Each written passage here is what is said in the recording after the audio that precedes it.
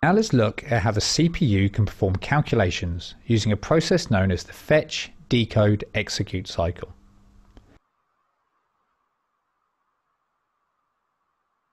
Here we have a representation of a CPU and RAM.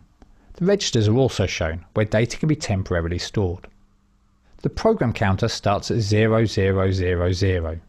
This means that the first address in RAM that the computer will look for an instruction is at 0000. The computer needs somewhere to store the current address in RAM that it is looking for. This is what the memory address register is for. 0000 is therefore copied into the MAR. A signal is then sent down to the address bus to the RAM. The control unit sends out a memory read signal, and the contents of the address 0000 are copied through the data bus to the memory data register. As the contents of address 0000 is an instruction, it is copied into the instruction register.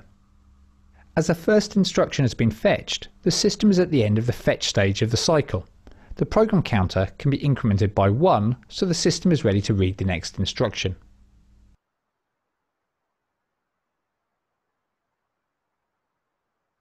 Now the instruction needs to be decoded.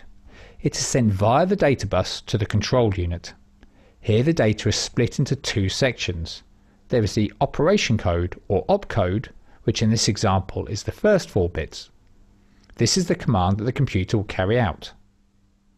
The second four bits are the operand. This is the address in RAM where the data to be operated on is stored. The control unit can translate opcodes into instructions. So here the control unit translates the opcode 0101 into a load from RAM instruction.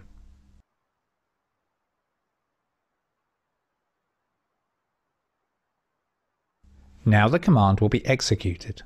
The operand is copied to the MAR, as this is the address of the data that needs to be loaded. The data address 0100 is then fetched from RAM and then passed up the data bus to the MDR. As it is not an instruction, but simply data, it is then passed to the accumulator.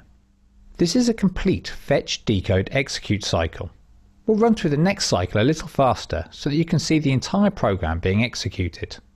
The instruction opcode and address operand is placed in the IR and the PC increased by 1 again.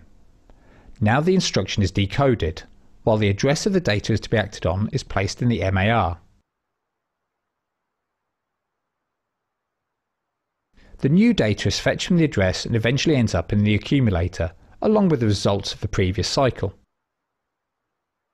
To finish off this stage, the two values in the accumulator are passed into the ALU, where they can be added together as was instructed by the opcode. The result is then placed back into the accumulator. So that's a second cycle complete. The last cycle is for the instruction at 0010